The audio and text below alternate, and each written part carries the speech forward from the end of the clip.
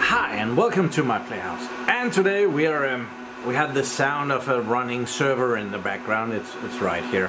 It's the awesome IBM slash Lenovo X3650 Model 4.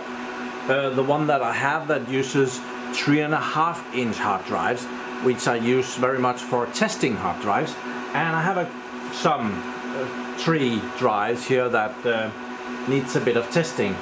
One of them is a two and a half inch though, but we can just pop that in and it will be fine. I want to test them. Uh, I have two bigger hard drives, three and a half inch hard drives, to see if we have anything that will go into the DUI DAS over here because we haven't looked at that for a while. But if I'm not much mistaken, this um, server is out of, uh, well, my trial version has run out. So first we need to um, to extend that uh, with another 180 days. When you install a version of Microsoft Server, um, you can try it out for 180 days and then it will it won't stop working it will just randomly start shutting down on you then you can extend the 180 days for another 180 days and you can actually do that like five times so in total you get almost three years of testing before you actually need to do something drastical like getting a key for it or getting the new version. I believe that I have, I don't know, let's go in and see. What is this? Oh, this is a server 2022, so it's not that old. But if we look uh, there, it very clearly says that the Windows license is expired. So we need to fix that. I have connected this server to the internet so we can we can start Google Chrome here and we can do a search server 2022 and it's called rearming rearming uh, yes yes. So let's see. There is here's a good web page that tells us what to do. We can run this one to do something but we can we can run this com we can run this command right here to um, to rearm our server so we're gonna do that and um, yeah Windows is broken here too they don't really want you to do this so they they hide it and where is the best place to hide anything? In the CMD, in the command prompt. And um, to be sure that this works, we need to right click and run as administrator there. And then we um, this over there and we can see what we're doing. So we'll run the slmgr dash rearm there. Plonk and it tells me that it's success. I need to reboot the server to uh, to complete that it says right there. So okay we'll do that. And power restart. Yes yes so restarting. So um, naturally you don't want to do this on a uh, production server.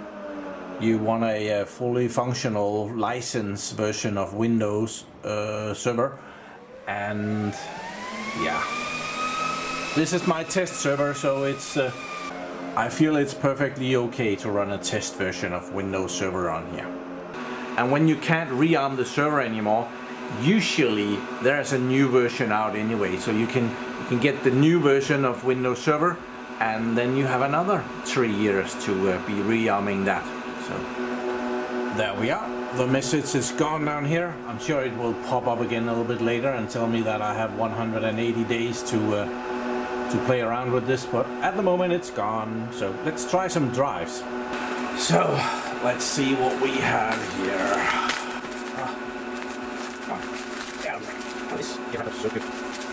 Okay, I thought I could save this.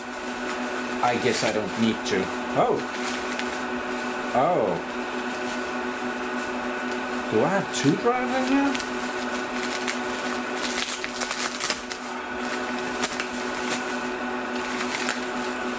Oh.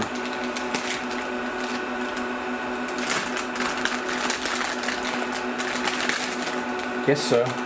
Guess I have a little drive or SSD. Uh, 240 gigabytes. It's just like this one. Yeah, exactly the same. So we'll test those. And then we have a 10, 10 terabyte, and I, I kind of like these drive. It's a Hewlett Packard branded, but it's really an Hitachi drive, as far as I remember. Yeah, Hitachi. And oh, and the other one is also a Hitachi drive. Also, oh, that's a 12 terabyte. Okay, so that's that's a bit bigger. So, and another tray. If anyone is in need of these trays, I have quite a lot of them. Visit my little shop links in the description. I have quite a lot of these trays if you need three and a half inch trays for Hewlett Packard servers. Um, they are used in multiple different systems, so yeah. Okay, so we have a 12 and a 10 and two uh, 240 gigabytes enterprise SSDs. So, um, okay. Let's just pop the first one in. Let's start with the 10 terabyte. I was hoping to use them for this one, but as I'm using 10 terabytes for this one, the 12 terabytes, uh, that is gonna mess up my math. So let's pop this 10 terabyte in here and hope for the best. There. I hear it starting up. At the screen here, we're gonna start by asking disk manager if it sees it. Yep, there is a 10 terabyte right down here. So we're gonna unline that. We're gonna initialize this 2 GPT. Okay. And then we're gonna make a simple volume on that. We're gonna, I forget how far I got. I think I'm at, let's say disk 25.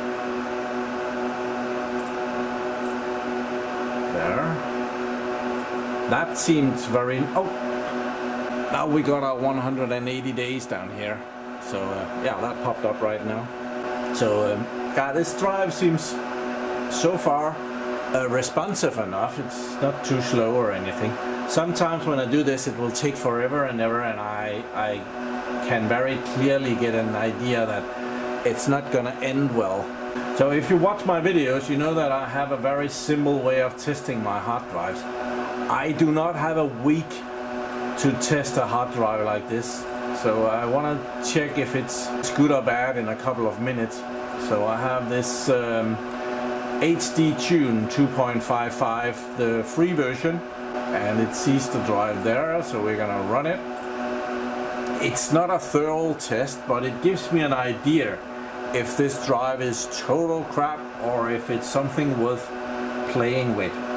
And it's not supposed to do that, so it's it's not great when it does that. That does mean that, oh, you you are so far away. That means that the drive is having trouble replying fast enough. And why is it suddenly all the way down there? It was up there and then it's dropped to, looks like almost half speed. Uh, okay, we'll let this run and I'll show you the result. Okay, here's the result. Uh, it's not a great drive for sure. It's supposed to be up here and drop a little bit along the way. So going down about from, from here to about 200 over here. All of this blue thing is not supposed to be there. The, the yellow things here are okay, but well, this is not great. I'm gonna run it again, just for fun and giggles though. Okay, it's just finishing up here and it, that, it did something completely different this time. It started at about 150 megabytes per second and then it went up to about 130, 40 megabytes per second up here. But it still has all of these like almost like clockwork. So uh, probably some sector on the or one side of the hard drive that where there's a bit of damage or something but it's not completely dead. It just takes longer for it to retrieve that data from that bad sector. Um, naturally it's not good for a production environment so uh, yeah this wasn't replaced for fun. Okay I ran it once more. I usually only run it once but uh, this time it actually kept up there at about 230 40 well between 200 and over 200 megabytes per second except it does all of that very uh, rather predictable um, so it's definitely a bad drive. So we will take that out again very carefully. Don't it's still spinning inside so um, don't want to shock it too much so we're gonna write bad on it. It's bad. And it can join the other bad drives over here. Okay. and we have the 12 terabyte drive. What we might just put in. Yeah. So will that pop up in? There it is in disk manager. So we'll online we'll initialize and yes it's also gonna be drive 2 we're gonna we'll go next and we're gonna call that drive 26 disk 26 next next.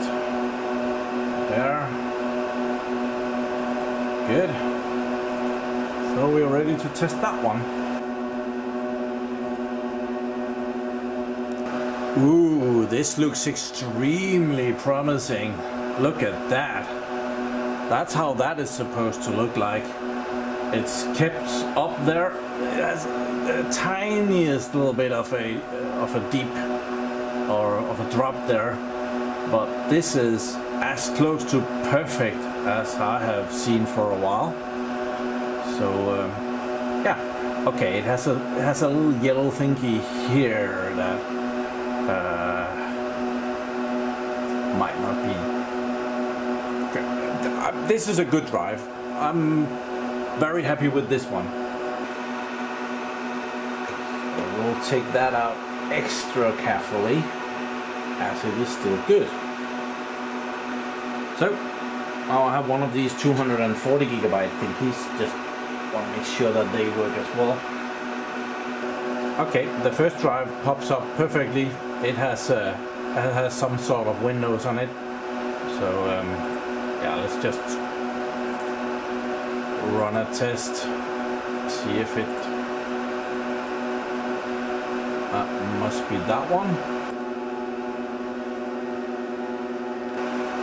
Okay it's done um, all of this uh, random search the yellow ones are all at the bottom they're very very quick so uh, yeah, and faster than the spinning disc naturally, though um, though it's not even twice as fast, but megabytes per second. But yeah, never mind. This looks perfectly good.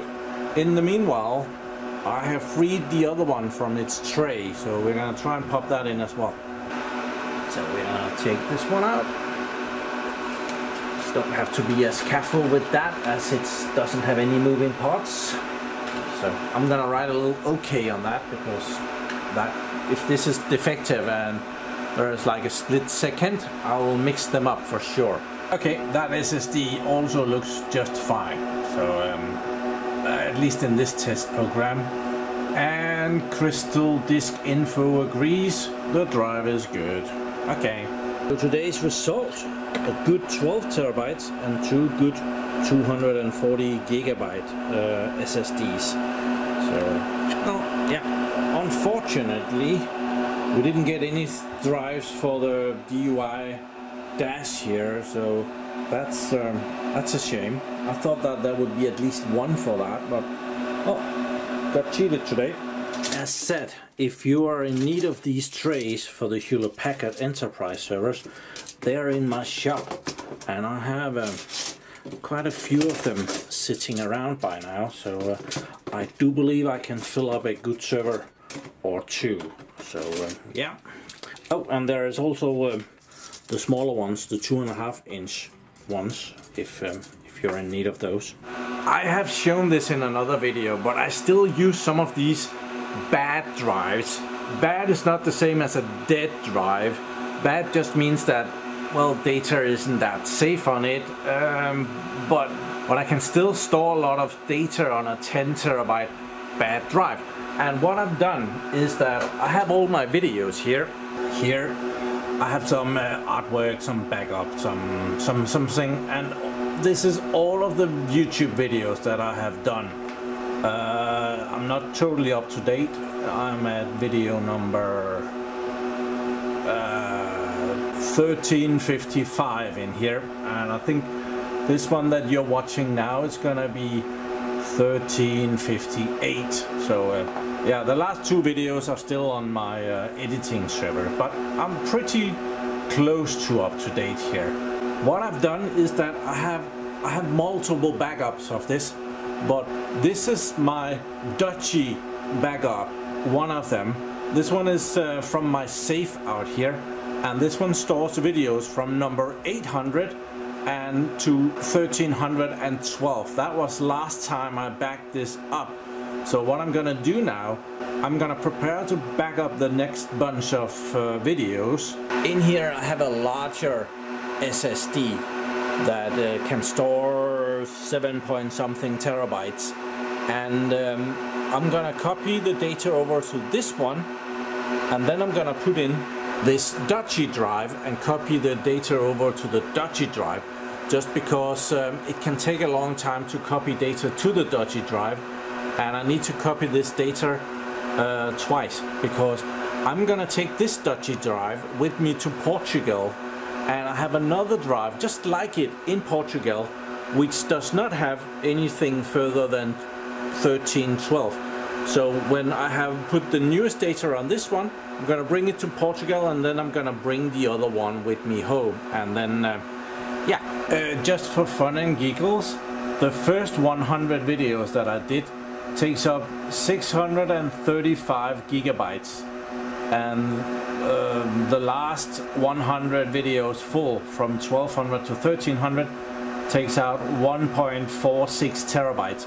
So going from uh, from full HD to 4K um, costs 800 gigabytes. That's not bad. 100 videos. Let's get this show on the road. Let's see, 1312 is the last video that is there, so we're gonna go 1313 and the last one there. And we're just gonna, I'm gonna take the first one and drag over there, copy. And we get that we are copying 789 gigabytes. That's gonna take 3 hours, 15 minutes.